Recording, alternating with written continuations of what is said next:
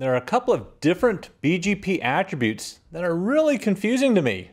And I want to show you what I learned about, well, BGP Med. Join me next.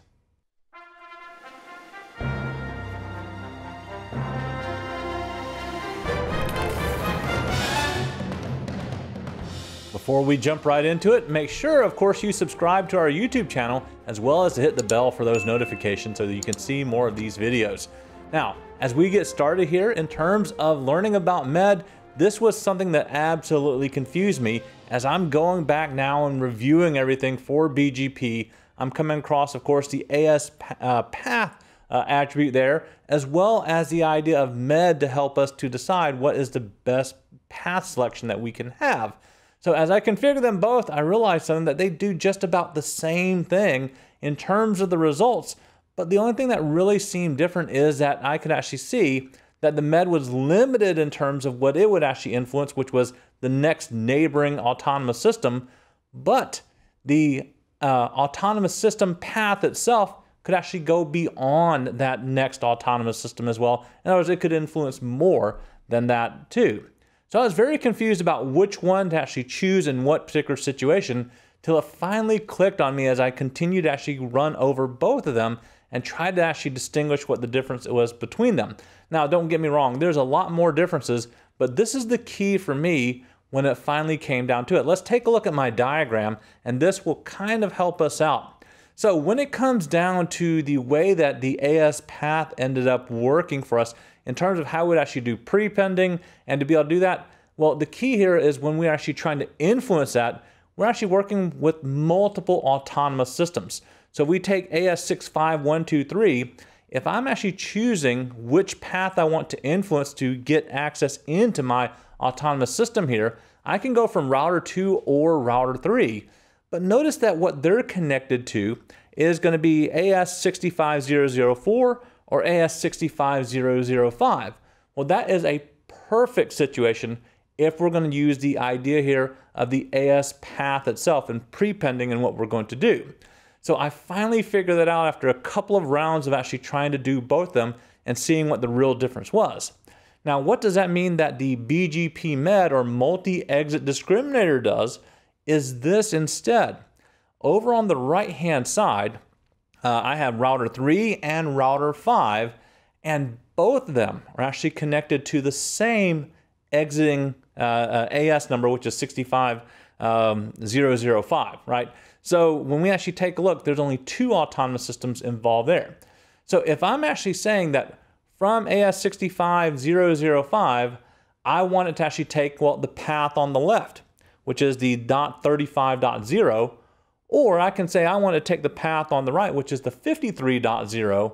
Well, I'm actually going to use the med value to help inside of 65005 to choose which of those two that I want to come in to my own autonomous system. So that's the real big difference in making that work when it comes down to it. So make sure you understand that as you actually get ready and as you continue to prepare for your lab. I know that those of you that have been working with it on a daily basis, you understand that. But if you're like me and it has been a while since you've actually gone over this, this was kind of one of those eye-opening aha moments that really kind of at least, you know, made me realize that this is what's going on.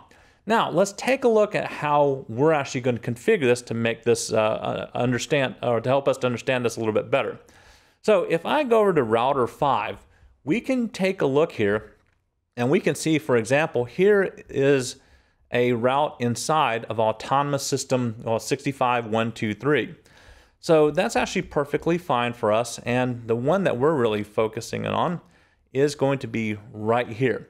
Notice where the path actually only goes to 65, 1, 2, 3, whereas that last one, it actually hops around the other way instead.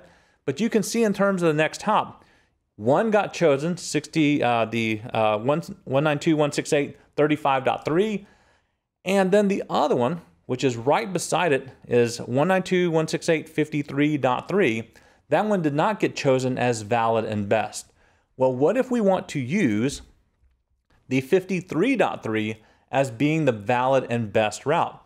Well, the med value, of course, is actually going to be one that is based on the lowest med value that we can have as well.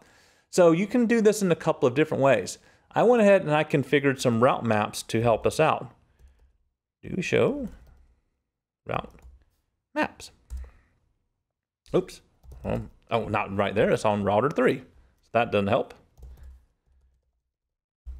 Show route map. All right, so here's the two route maps that I actually ended up making. I made one and I called it Med B. I made another one I called Med A. And I went ahead and set a metric for everything. One, of course, to 350 and the other one to 700. And we're actually going to get the lowest one, if I remember uh, correctly here as we do so. So now that I've got those created, I now need to assign it to neighbor statements that will, of course, make that work for us. So let's go ahead and do that as well. So we're going to go to our global configuration and then into our router configuration, and this is going to be 65123 for our BGP. Then for our neighbor, 192.168, this is going to be 35.5. I'm going to do route map. And this one, I'm going to set one to the Med A because this is the one that's already set to accept it. So I'm actually going to do Med A at this particular point. Then I'm telling it to advertise it out of my own autonomous system number here. Then we're going to actually kind of change this up. We're going to do 53.5. And this one we're going to change to, well, med B. So notice that should assign the different metric, or yeah, med values that we actually have to those neighborships. And that should be perfectly fine for us. If I actually set it up correctly, the one that I wanted should be fine. And then we're going to clear IPBGP. And I'm going to do a soft, and that should kind of do everything that we need it to. So at this particular point, if everything is actually kind of working the way that we hope, that means I should be able to go to router 5, and router 5 is the one that should show me that this is actually taking place and is different, since that's what the med is doing. It's saying, hey, here's how you actually get access into me uh, as well. So let's go over to router 5. And so we see the preview before.